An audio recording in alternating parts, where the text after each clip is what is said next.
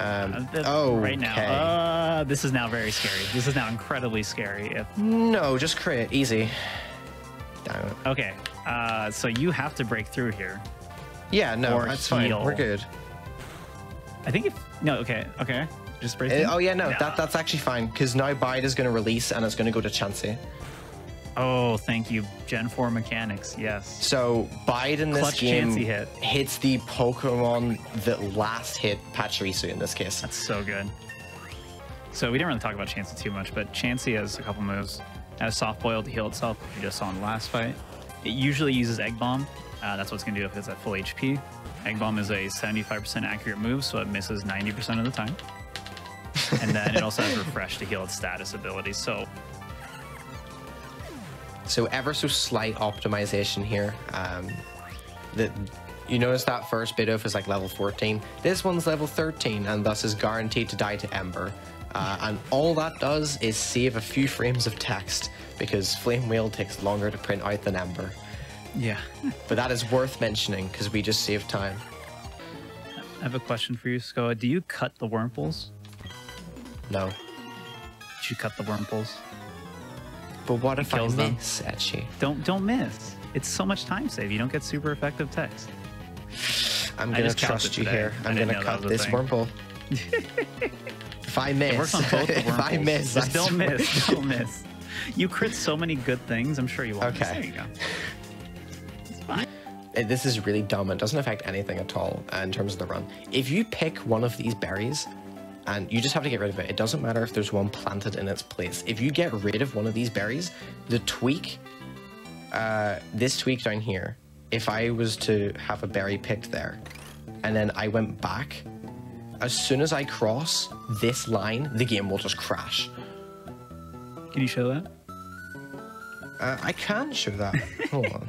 You know what? Why not? Let's break my game. I'll just save. I'll, no, I will not save. Actually, I will Yeah, not save. I'll just reset. Okay, so now that we've gotten rid of that berry, I believe that that's what um, causes this crash. So as soon as I go over this, yeah, the game just crashes Oh my gosh. just instantly in just a second. Uh, so I'm going to showcase the tweak first. Um, I'm going to wait for this jogger to get out of the way. So yeah, Oh you'll see the game lag a bunch there, and I'm now underground, and that allows me to escape these two ace trainers here. Now, um, important thing to note is if I was to go into this uh, gate right now, if I was to load the Pokedex, go into a battle, get an encounter, anything like that, uh, my game would crash. So, okay. So that's what the tweak looks like normally. Um, where everything here, all the NPCs and whatnot have been turned into shadows. and normally there's a rival fight outside the Pastoria gym, and that allows you to just skip that fight completely. See, we're now in the Shadow Realm. It's cool. No gym battle there. And, And uh, it turns out that even though the so when you try to enter the Elite Four, there's a person that stops you to check your badges. Uh, even though they say all the badges, they don't actually check your badges. So even though we don't have them all, they just act like we do, and we just they let us in. So because it's assumed that you're supposed to be like going through all these um, areas and not being able to progress Exactly, until you yeah. do like a gym leader or whatever. because so- no one would ever glitch in these games, that'd be ridiculous. No, of course not. Guys are going to be here until I see everything and then go and get the national Dex. Um, turns out you can just get rid of these guys. You can run that tweak. So I'll. If you run it, uh, the guys just disappear. Or you can do it on the slow bike as well, if you're fancy and you're a bit faster. But it just it makes the uh, entire world go black. I take to get to uh, Monferno before Roark.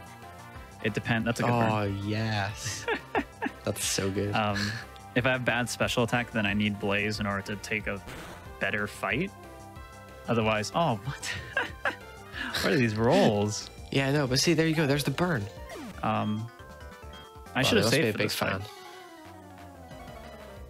Surely I won't die though. No, of course not. Just don't lose.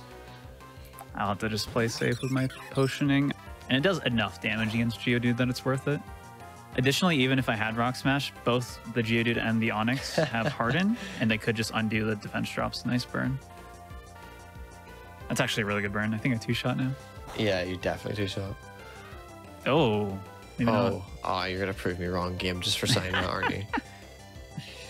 This is really gonna happen. Oh, Okay. Nah. You're lucky you this time. Uh, the Zubat is the same as the Manip route, just spam embers and then kill poison at the right time. What are these Wow. burns? Oh my god. I have burnt literally everything that's like good to burn. Hopefully this dies now. That shit that looks pretty good to me. There's no way this still doesn't die. Be fair, I think we've been in this situation like so many times in this run. Uh, I'm pretty sure my attack is good enough. Played basically all of them. So I actually skipped Gen 5 entirely because I was like, oh, I'll just wait for Pokemon Gray version. And then they made Oh, Black no. and White too, Oh, and I was so sad. I was like, all right, I guess I'm just not playing these games.